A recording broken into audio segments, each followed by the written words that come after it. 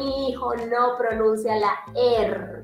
Eso se puede deber a múltiples factores, no únicamente, muchas veces, y se los voy a preguntar acá, para que lo piensen y para que lo analicen padres. ¿Por qué su hijo no pronunciará la R? Seguramente están pensando que es porque tiene un frenillo lingual. Seguramente están pensando que es porque tiene em, una, una dificultad a nivel de sus órganos fonoarticulatorios. Pero la verdad, la realidad es que el mayor porcentaje de los niños que tienen dificultades en la pronunciación no se debe al frenillo lingual, que es la mayoría, el pensamiento más común que tienen los padres. Mi hijo no pronuncia bien porque tiene frenillo, seguramente tiene frenillo. Y resulta que no es así. El frenillo lingual es uno de los casos o es una de las probabilidades más pequeñitas que vemos en la consulta fonoaudiológica. Por lo general, ¿sí? la razón por la cual el niño no pronuncia bien se debe a dificultad en la coordinación oral motora o ejecución de los sonidos.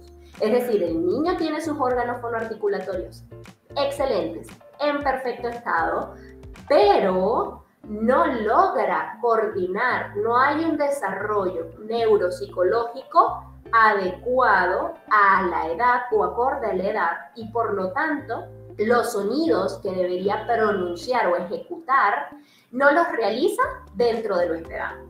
Entonces, ahora, para los padres que sí tienen una duda con respecto al frenillo lingual, se los voy a explicar con este títere de acá, que es mi títere preferido. Les presento al señor elefante. El señor elefante tiene su lengua, ¿cierto?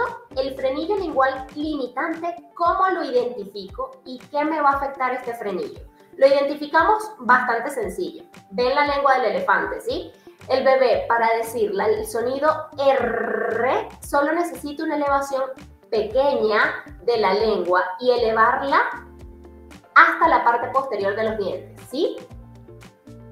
Justo en ese punto. Una vez que el niño puede realizar eso, la R debería salir. ¿Cómo sabemos que mi frenillo lingual es limitante? La lengua va a estar en forma de corazón, de esta manera, ¿sí? Entonces, de esta manera va a estar la lengua, en forma de corazón. Se va a ver perfectamente un corazoncito. El, niño va a sacar la lengua y no va a poder sacarla ni a este nivel, porque su puntito de su lengua va a estar en forma de corazón, justo así. ¿Eso por qué? Porque el, justo lo que tenemos debajo, en la parte inferior de nuestra lengüita, está presionando hacia abajo, empujando hacia abajo y va a impedir que la lengua tenga la movilidad adecuada para lograr ciertos sonidos del habla. Ojo con esto.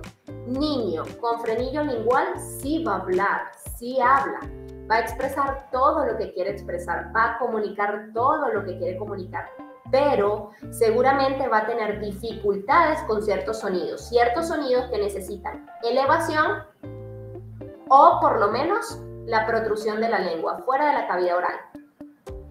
Entonces, importante, en casa lo que vamos a hacer es simplemente, por los que tienen dudas, si eh, su pequeño tiene un frenillo lingual limitante o no, revisen la lengüita. A ver, vamos a hacer un juego, vamos a sacar la lengua. Mm, y si el niño toda la vida ha hecho eso o ha podido lograr eso, entonces no tienen nada de qué preocuparse, no hay frenillo lingual limitante.